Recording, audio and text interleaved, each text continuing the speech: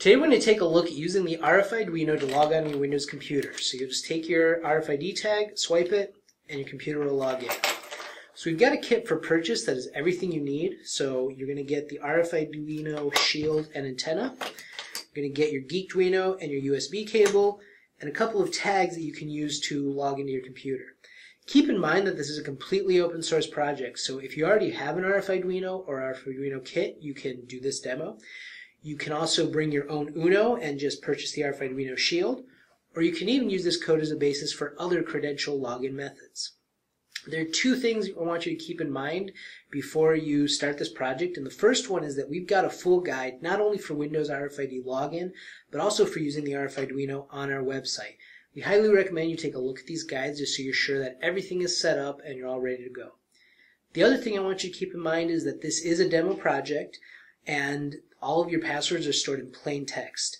So it's a really easy solution to get up and running, but if you're looking for something that's got, you know, corporate level security, this probably isn't the place. You can definitely take the code and modify it for your own security needs, but right off the bat, it's a low level security system.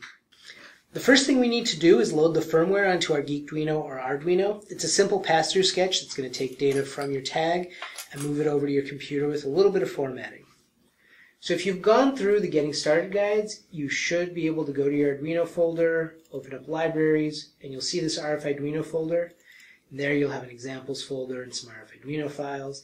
If you don't see this, then go ahead and go back to the RFIDuino Getting Started guide, and you'll find out where you can download these files and where exactly to put them. The sketch itself is under File, Examples, RFIDuino, Arduino Windows Unlock.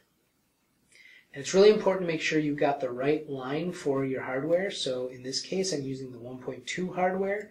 So I've got this line uncommented. If I was using the 1.1 hardware, the older version, I would uncomment that line. I've already got my board and my serial port set up from my Getting Started guide, so I can go ahead and upload this.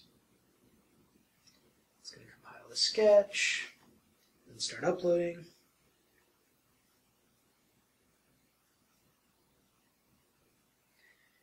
Once everything is uploaded, I can put my shield on. If I swipe my tag, the green light on the Arduino will come on. If I open up my serial port, I'll see the data from the tag. And I'm going to highlight this tag data and do Control C to copy it because I'm going to use it later. So in the Getting Started guide, we also have a link to the RFIDuino Windows login folder. And here you're going to see a 32-bit and a 64-bit folder. So if you need to make sure what your what operating system you're using, just right-click on Computer and go to Properties. And under System Type, you'll see 64-bit or 32-bit operating system. So I'm on a 64-bit system. I'll open up my 64-bit folder. This RFID credential provider.dll is the executable that's going to do all the work. So you need to set your settings in RFID credentials and RFID cred settings. Open up cred settings in Notepad or a text editor, and the only thing you'll need to change is this first line, com equals. Over on the RFIDuino, we're using COM37 to program the Geekduino, which is the port that we're going to use here. So change this to 37. Save this. And go to RFID credentials. So this is where you're going to put your information for your username, your tag, and your password. So right here, I'm going to copy the numbers, values that I had from my original file here in the Arduino.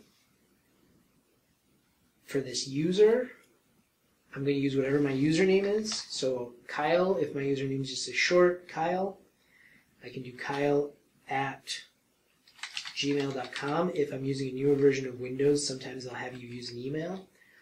If you're on a domain, you'll just put in your domain name, backslash, and then your username.